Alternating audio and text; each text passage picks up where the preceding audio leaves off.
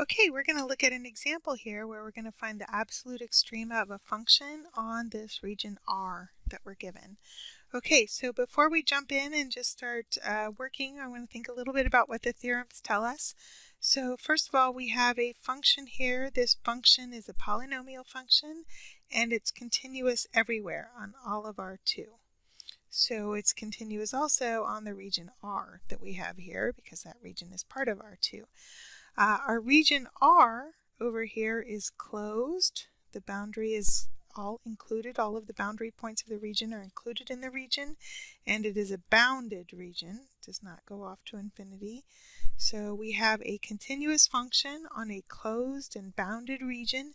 So extreme value theorem tells us that we will have both a maximum and a minimum value of this function on this region. Okay, so then we want to think about how we actually find the absolute maximum and absolute minimum values of this function on the region. All right, so I'm just going to kind of discuss an overview and then we'll jump in and do the steps. So the first main step that we want to think about is we want to find the critical points of our function that are on the interior of our region. And we'll do that by thinking about where the gradient vector for the f function is equal to zero or does not exist. So that will give us our critical points. If we find any that are outside of our region R, we want to make sure we discard those. Then the second thing that we'll need to do is consider the boundary. And here I have three boundary equations because I have a triangle, so I'm going to substitute each of those boundary equations into my function f. And then along each of those boundary equations, I need to think about where the function might have extreme values. So I'll essentially be doing kind of a reduced variable extreme value theorem problem on those boundaries.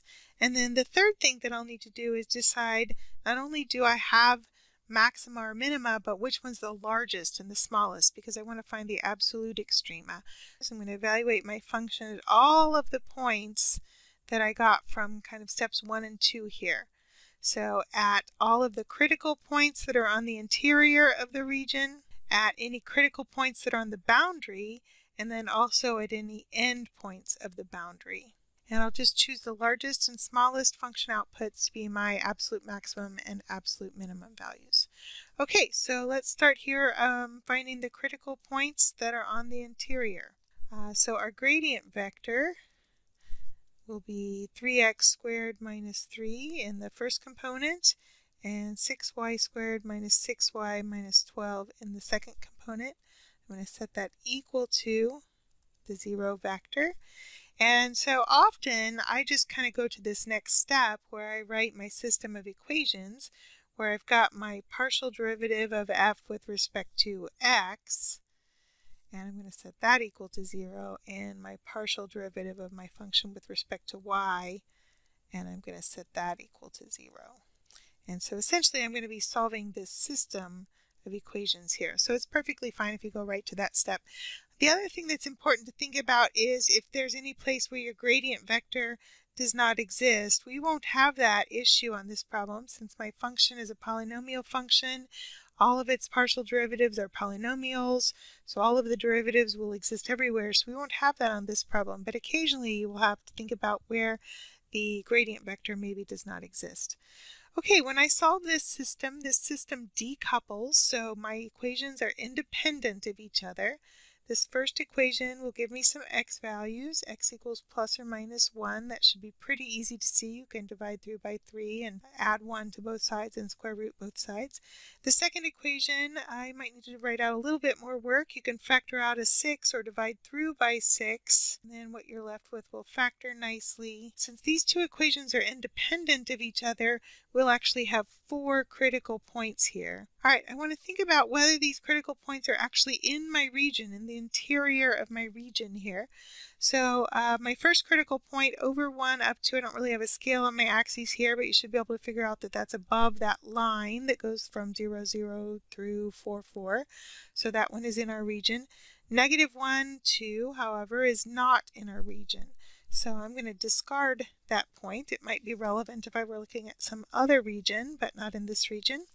Uh, my other two points, 1, negative 1, and negative 1, negative 1 are also both not in our region, so we're going to discard those. So the only point that I'm really going to consider for this problem is my 0.12, my only critical point. All right, the next main step will be to consider my boundary equation. So I need to think about the boundaries here. I have three boundaries. I'm going to go ahead and write my equations for each of my boundaries here. So this next part here about the boundaries, I'm really going to have that separated into three separate parts here where I think about each boundary equation and substitute those into the original function. Okay, so I've written down each of my three boundary equations here, and the other thing that will be relevant about these is that I don't really want the entire line x equals 0. If we go back and look at the picture, I don't really want the entire line x equals 0. I just want the part that goes from y equals 0 to y equals 4. So for each of these, I'm going to add some restrictions so that we remember we don't really want the whole line. We just want part of it. Okay, so this part is really almost like three separate problems here. I'm going to substitute each of these equations into my original function.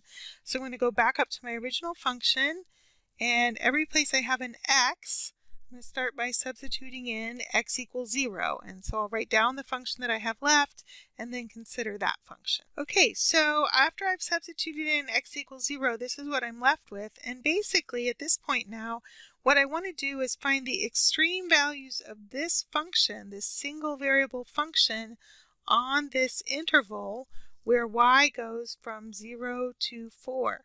So in essence, this is now like a calculus 1 extreme value theorem problem. So what I'm going to do is find the critical points of this function. I'm going to go ahead and take the derivative of this now single variable function set that derivative equal to 0 and solve for y. All right, so I got two y values here. Remember that we're along the boundary x equals 0, so these are really ordered pairs. x is going to be 0 and y will be 2 or negative 1. Uh, remember that our y needed to be between 0 and 4 though, so one of these doesn't satisfy that requirement. 0, 2 is actually in my region, but 0, negative 1 will not be. You can go back up here to look at the graph again also. So 0, 2 be in the region, but 0, negative 1 would not be. So we would discard that one. All right, so the other place so far that I have where my extreme values might occur would be at this point 0, 2. That's a critical point along the boundary, on the boundary x equals 0. The other place from Calc 1, remember that you found critical points, but then you were also needed to consider the function outputs on the endpoints. So I also need to think about the endpoints of that boundary. So we're at x equals 0, and then y is going from 0 to 4.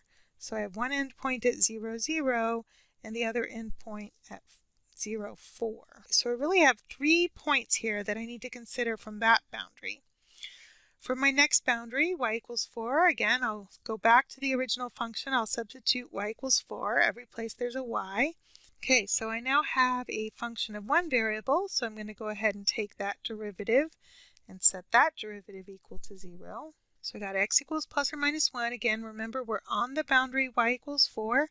So that really is two points, 1 comma 4 and negative 1, 4.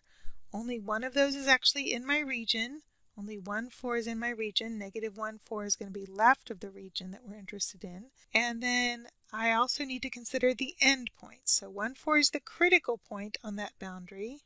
And then I also have end points of that boundary. All right, I have one more boundary equation to consider. So I'm going to substitute y equals x into the function, which means I'll get a function either completely in terms of x or completely in terms of y. It doesn't really matter. So when I've substituted in place of the y, I've put x in place of y. So this is what I get.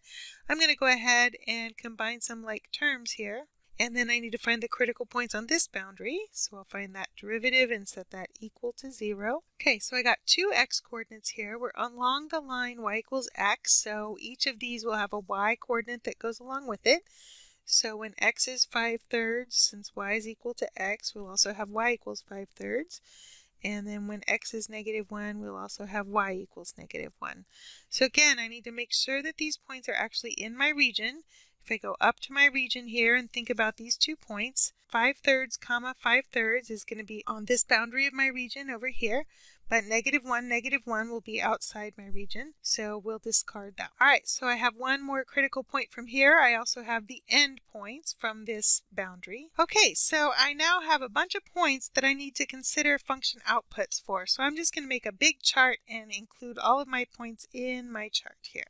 All right, so I need to plug all of these values into my function. This is where you get out your calculator and you plug all of these numbers into your function. I'm just going to write my function outputs over here in my second column. Okay, so I've evaluated my function at all of my points. My first one here was a critical point that was in the interior of the region. My next three were critical points that were along the boundaries of the region, and then the last three here were the end points of each boundary, or maybe we call those the vertex points. So what I'm really looking for, though, is I'm looking at all of these function outputs, and I'm looking for the largest function output. That will be my max value. So that would be 84. So we would say that the maximum value of this function is 84, and that occurs at the point 4, 4. And then looking through these values for the lowest value, the minimum value of the function, our minimum value is negative 22, and that occurs at the point 1, 2. Okay, so try some of these problems. These can be kind of long, but uh, nothing in the steps is especially hard. It's just a matter of making sure you don't get lost in the middle.